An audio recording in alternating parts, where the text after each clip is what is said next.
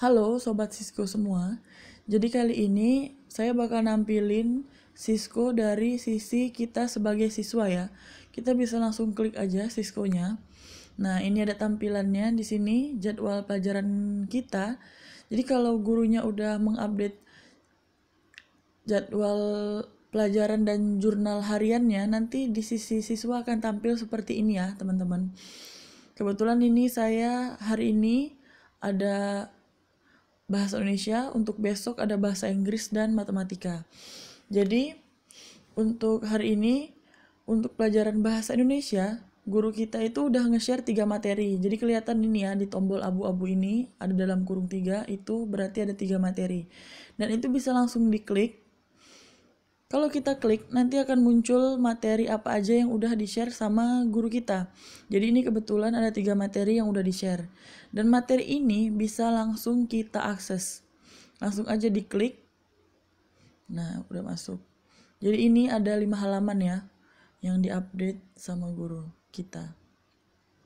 Oke, bisa dalam bentuk teks, bisa dalam bentuk gambar, bisa dalam bentuk file video juga nih ya, video YouTube. Terus nah, kalau nanti ada tombol download gini, ini berarti guru nge-share dalam bentuk file bisa PDF, bisa Word, bisa PowerPoint juga. Kalian tinggal klik aja downloadnya.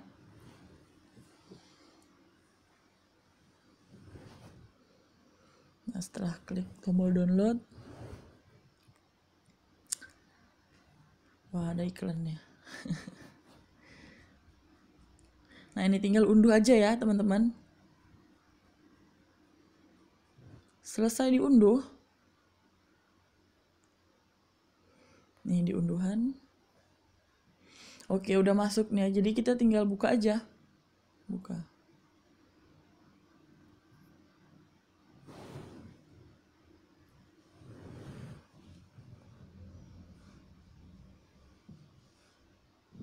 Ini dia bentuknya. Ini dalam bentuk word ya berarti gurunya update. Gitu bisa teman-teman baca.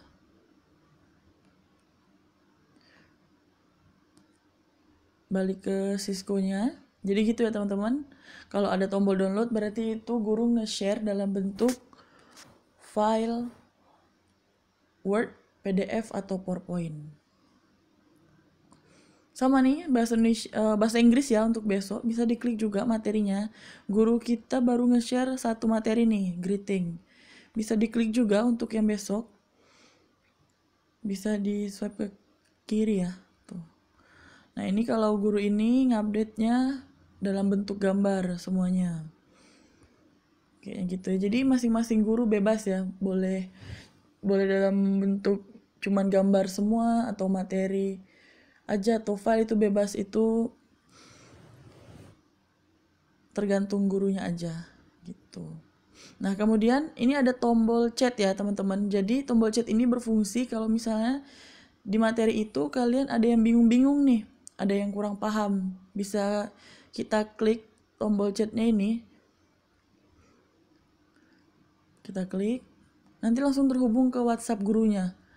Udah ada nama kalian langsung nih. Saya Erika Maria Salma dari kelas 10 mesin 2 mau bertanya tentang pelajaran bahasa Inggris untuk hari Sabtu. Habis itu ya kalian tanyakan apa yang kurang paham, langsung desain. Bisa langsung terkirim ke guru kalian. Gitu. Jadi buat teman-teman itu tampilan Cisco dari sisi kita sebagai siswa ya.